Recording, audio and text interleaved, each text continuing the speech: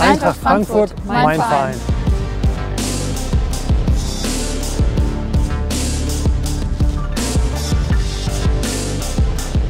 Ich fand es total cool. Es war ja ein bisschen absehbar. Wir hatten da ja schon vorher drüber gesprochen und das eine oder andere ist ja auch so in den Medien aufgepoppt. Aber dann ging auch irgendwie alles relativ schnell. Das erste Training äh, mit den neuen Trainingsklamotten hier am Stadion, das war schon cool.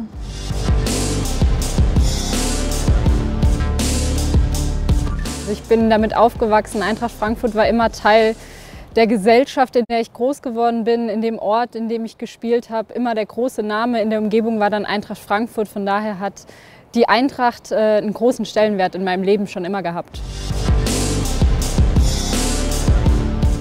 Ja, das war natürlich irgendwie eine Riesensache. Es fängt ja schon an, wenn man in die Tiefgarage reinfährt. Das ist ja für uns eine sehr ungewohnte Situation. Das kennen wir so nicht. Das war irgendwie schon, da fing es schon an. Ähm, natürlich die Kabinen und dann hier rauszukommen, sich warm zu machen, die ganze Atmosphäre irgendwie aufzuschnappen. Jedes Tor ist oben auf der, auf der Leinwand erschienen und das war schon echt, echt cool.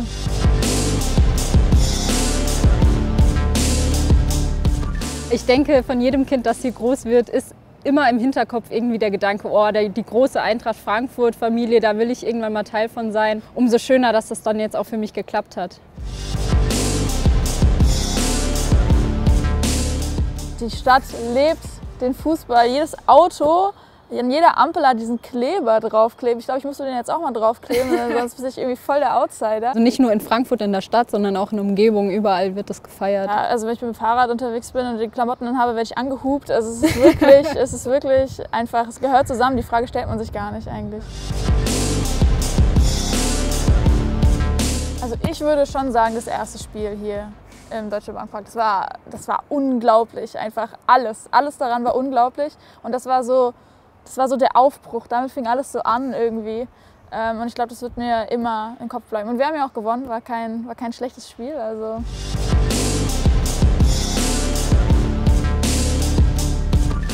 Ich denke auf jeden Fall Zusammenhalt. Tradition.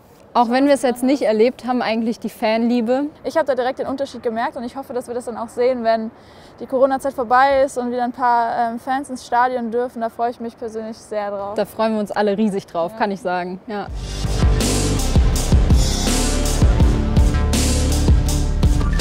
Also ich denke, dass extrem besonders einfach ist, dass sie überall sind. Also dass man durch Frankfurt läuft und an jeder Ecke steht irgendwer, der sich mit Eintracht identifiziert. Dass sie aber so treu sind, auch wenn es jetzt kein Verein ist, der unbedingt jedes Jahr die Meisterschaft holt, sondern dass die Fans einfach immer da sind, egal wie es in dem Verein dann eben läuft gerade. So ein Vertrauen zu kriegen, ja. ist irgendwie als Sportler auch was ganz Besonderes und überhaupt nicht äh, ja, so die Norm. Nee, man freut sich einfach, ja. egal welches Spiel ansteht, weil man weiß, dass irgendwer hinter einem steht. DFB-Pokalfinale. Ja, das hätte ich auch ich weiß gesagt. direkt.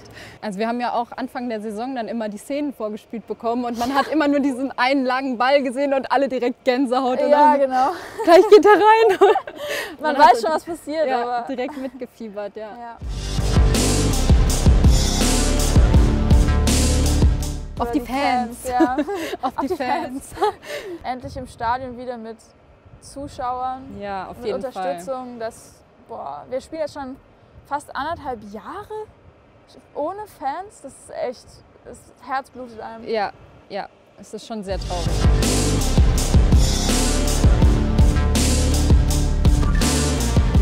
Also, ist was geplant? Wora, worum wir uns auf jeden Fall gekümmert haben, ist, dass wir nicht direkt nach dem Spiel zurückgefahren, sondern wir bleiben noch eine Nacht im Hotel. Das heißt, was auch immer passiert, es gibt die Möglichkeit, ordentlich abzufeiern. Corona-konform. Corona-konform.